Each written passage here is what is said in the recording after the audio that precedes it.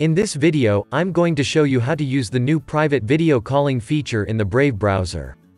Before we proceed, make sure you subscribe to this channel and press the bell icon to get daily tech videos. Let's get started. Brave is a Chromium-based web browser with the main focus on user privacy. To use the new video calling feature, you have to visit this URL, it only works in the Brave browser so all the participants must use the Brave browser to make it work. The landing page instantly shows you an option to start the video call. As you can see, the interface is similar to Jitsi Meet here.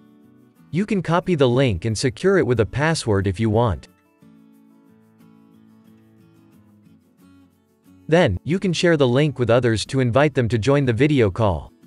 As there is no need to sign up so you have to pick a screen name to use the text chat. In terms of features, you can easily switch your audio source as well as camera while in a call. You can also raise a hand in call and share your screen along with the audio. You can also toggle the tile view to get a grid or tile layout. Apart from that, you can change video quality, share a YouTube video, mute everyone, enable speakers stats, and so on.